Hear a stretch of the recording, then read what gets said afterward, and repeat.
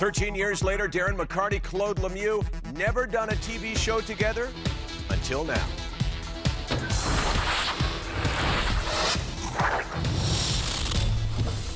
Off the record with Michael Landsberg. Brought to you by the Keg Steakhouse and Bar. For great steaks, good friends. See you tonight. The other way to Draper. Draper's hurt. He got leveled by Claude Lemieux, and he is down on the ice. Look at me. You know, this is a hockey game, but look at my face. Now Darren McCarty gets his shots in at Claude Lemieux. Welcome back to old-time hockey. That is hockey history right there, and that's crime and that's punishment. Darren McCarty, Claude Lemieux, 13 years later, not side by side at the face-off, but on this set. Have you guys ever done TV together? Never. I, Have you guys never met. really talked about this stuff before? Never. You said never met. No, I mean, like, no, the first time. So let's let's let's get to that in a second. But I, I, first question: How badly did you really want revenge on this guy? Real bad. You gotta- that happened right in front of me, too. So, and uh, with everything that went on after that, it sort of got itself built up. Claude, I read a quote. You said, "I'm not worried. I've heard retaliation for 13 years." Yeah. Were you not a little worried? I was, you know, I was worried about the stuff off the ice. I wasn't worried about anything on the ice, but I was getting death threats and faxes to the uh, front office of the Colorado Avalanche. The league was talking to me. They had a security guy living outside my hotel room in Detroit, so I was concerned with that. On the ice, I had played long enough, had been in enough wars that And been beaten up a few and times. been beaten up and uh, more than uh, Hold I on to that because we got a lot to talk about. First of all, we'll talk about that later. But right now, let's talk about the news of the day. Tonight, Pittsburgh Penguins, Boston Bruins in Boston. Last week in Pittsburgh, Matt Cooke destroyed Marc Savard with a hit to the head that we're looking at right now. First of all, Darren, what's Shawn Thornton thinking right now, two hours before the game? He's probably seething a little bit in his stall, thinking about it. But he's got to be smart. You know, that's the whole thing. One thing you remember with our altercation, we that was the fourth game of the year.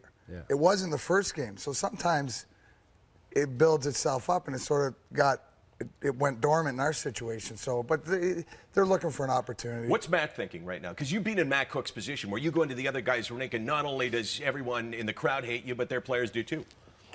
Well, he's thinking that uh, they're going to come after him, and uh, you know, if I had to give him advice, I'd say get it over with. And with me, uh, as Darren said, it was a fourth game.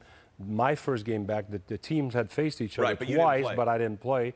My first game back, really nothing happened. I offer, uh, you know, I offered Drapes if he wanted to settle up or get an opportunity or whatever in Denver. Nothing took place. I figured, you know what? Maybe uh, knowing Scotty, maybe he didn't want anything to happen now. Maybe he just wants to wait for You're the talking playoffs. about Scotty Bowman. Scotty Bowman, that is. And I thought maybe there's a strategy. Maybe nothing's going to happen at all.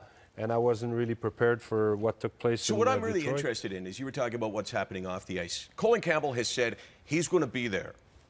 Terry Gregson says he's going to be there as well. And and somehow they're trying to, I think, you know, flex their muscles to intimidate the players. Does this make any difference at all to anyone on the Boston Bruins? I would think not. You know, you're sticking up for your brother, your teammate. Um, you know, you're not going to do something stupid, but you're going to try to want to settle the score. You know, the way that hockey's been settled over years. It's always been like that. So you don't And, uh, care if Colin Campbell's there? No, not at all. Because uh, at the end of the day, it's a team sport. You got to stick up for your brothers, for your teammates, and you got to do what's right and within the the rules of the uh, of the game of hockey. So let me ask you this: within the rules of the game of hockey, that's interesting because the rules of the game of hockey, as applied to that hit, said it was legal. Colin Campbell said, "I can't suspend him. I can't fine him because he didn't do anything wrong." Does that change how the Boston Bruins would see it? Well, I, no, no, because your guy goes down, whether it's a clean hit or not. You know, guys, you'll see guys get destroyed by clean hits and guys going to stick up for each other. But uh, it, it doesn't change it. Change It's going to anything. change it a bit because you wouldn't have avenged his hit if it was a legal hit, right? No, probably would have. You know, n- I don't not get at that, that. moment. You know, it, it, it depends on the whole situation. You can, I don't think that. I think there's two different situations. You want to see what's wrong or what's not. What's wrong in the game? And the problem they have these days is guys don't have respect for each other. Um, you know, a clean hit or whatever, but you see all guys. There's no way to command respect. In the old days, imagine, you know, Gretzky, best player of all time, how did he survive? Uh, how would he survive in today's game? Nobody could, you know, nobody could protect him in this game. you do something the wrong timing, and somebody that's not willing to stand up for himself, you're going to get five, you're going to get 10, you're going to get game, you're going to put your team in, in trouble. Uh, the rules are in place today to really, for the top players to be chased around the ice and not, not get the respect they should. Right, we got to go to break, and when we return, we're going to talk about you know the mat. You guys stared at each other right the face-off. Do you remember that? The- opening oh, face-off in Detroit. That was, I think that was my birthday. That was the year after. Right. Look at him right now. You look at him. Do you remember what was said? I did all the talking. Don't tell us what you said. I Tell can't. us. Yes, you can. we can beat when we return. All right.